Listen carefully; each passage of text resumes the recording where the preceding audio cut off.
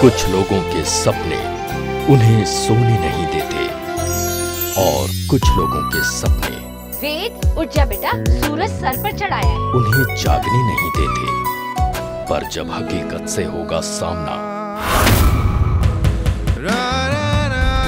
कैसे पूरे होंगे दोनों के सपने? ऐ मेरे हम सफ़र। 31 अगस्त से सोमवार से शुक्रवार शाम सात बजे दंगल पर